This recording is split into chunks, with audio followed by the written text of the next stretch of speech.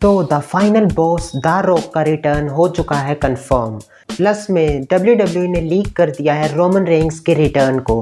Plus में next week होने वाले सीज़न प्रीमियर ऑफ़ स्मैकडाउन के एपिसोड के लिए काफ़ी सारे बिग अपडेट्स और रिटर्न्स इंक्लूड हैं. तो इस वीडियो को एंड तक ज़रूर देखना. तो सबसे पहले बात करते हैं द फाइनल बॉस, द रोक के डब्ल्यू डब्ल्यू रिटर्न की। तो hashtag P W N की तरफ़ से अपडेट आई है कि इन साइड बातें चल रही हैं कि द रोक जो है, वो पॉसिबली एक अपीयरेंस कर सकते हैं डब्ल्यू डब्ल्यू प्रोग्रामिंग पे नेक्स्ट मंथ या उससे अगले मंथ यानी अक्टूबर में या फिर नवंबर एंड तब से स्पेकुलेशन चल रही हैं नेक्स्ट मंथ होने वाला है W W premium live event W W Bad Blood जो कि ब्लड लाइन के अराउंड ही माना जा रहा है। तो हो सकता है कि उस प्रीमियम लाइव इवेंट पे हमें द रॉक का रिटर्न देखने को मिले, जो कि सेटअप करे Survivor Series premium live event पे ब्लड लाइन मैच को। एंड इतना ज़रूर कंफर्म है कि द रॉक बहुत जल्द हमें डब्ल्यू e में वापस देखने को मिलने वाले हैं। तो जैको फाटो जब से डब्ल्यू e में डेब्यू करके आए हैं, उन्होंने तबाही मचा रखी है स्मैकडाउन के एपिसोड पे। And W R K D wrestling की तरफ़ से अपडेट मिली है कि जो डब्ल्यू डब्ल्यू e में ऑफिशियल्स जिनके हाथ में कंट्रोल है, वो जैको फाटू को देख रहे हैं as major superstar in W W E and जो जैको फाटू की रिंग प्रेजेंस और उनका जो वर्क इथिक है, उससे उन्हें काफ़ी ज़्यादा बेनिफिट मिल रहा है। एंड जो डब्ल्यू डब्ल्यू e में क्रिएटिव लोग हैं, वो जैको फाटू को देख रहे हैं as a major superstar in W W future and no doubt जिस तरह से जैको फाटू को बुक किया जा रहा है जैको फाटू असल में एक फ्यूचर वर्ल्ड चैंपियन है। हमारी आज की नेक्स्ट अपडेट है डब्ल्यू डब्ल्यू सुपरस्टार शेमस के डब्ल्यू डब्ल्यू फ्यूचर को लेके।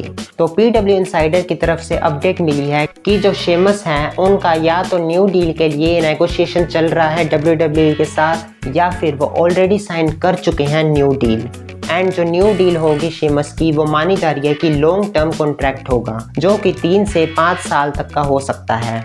तो इस अपडेट से ये क्लियर है कि डब्ल्यू डब्ल्यू में शेमस हमें नेक्स्ट तीन से पाँच साल तक देखने को ज़रूर मिलने वाले हैं। हमारी आज की नेक्स्ट एंड फाइनल अपडेट है। नेक्स्ट वीक होने वाले season premiere episode SmackDown and Roman Reigns के डब्ल्यू डब्ल्यू रिटर्न से। तो नेक्स्ट वीक हमें सीज़न प्रीमियर पे देखने को मिलेगा कार्मेलो हेस वर्सेस अंद्रादे के बीच मैच जो कि इनका आपस में फिफ्थ मैच होगा। इसके अलावा टैग टीम मैच होगा केविन ओवंस एंड एक mystery partner versus a town down under के बीच। एंड देखना इंटरेस्टिंग होगा कि केविन ओवंस का मिस्ट्री पार्टनर कौन होता है। एंड जो मेन इवेंट होगा नेक्स्ट वीक स्मैकडाउन का Cody Rhodes versus Solo Sikoa steel cage match for the undisputed W W championship and ये मैच ब्रूटल होने के साथ साथ यहाँ पे हमें रिटर्न भी देखने को मिल सकते हैं। क्योंकि जो डब्ल्यू डब्ल्यू लेजेंड रिकिशी हैं, जो जिमी उसो के फादर हैं, उन्होंने बताया है कि जिमी उसो रेडी हैं डब्ल्यू डब्ल्यू रिटर्न के लिए।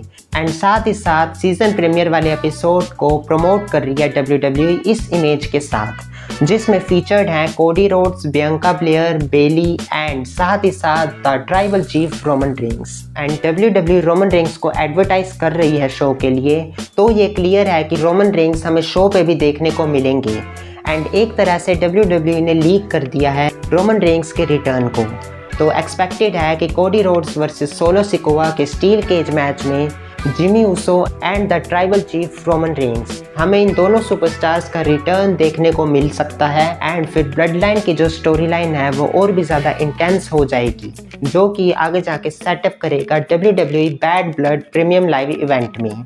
तो नेक्स्ट वीक की स्मैकडाउन आप सब बिल्कुल भी मिस मत करना। तो बस गाइस आज की इस वीडियो में इतना ही। अगर आपने यहाँ तक वीडियो को देख लिया है तो please hit the like button and do subscribe the channel यहाँ पर आपको इसी तरह डब्ल्यू डब्ल्यू रिलेटेड वीडियोस देखने को मिलती रहती हैं। तो मैं मिलता हूँ आपसे नेक्स्ट वीडियो में।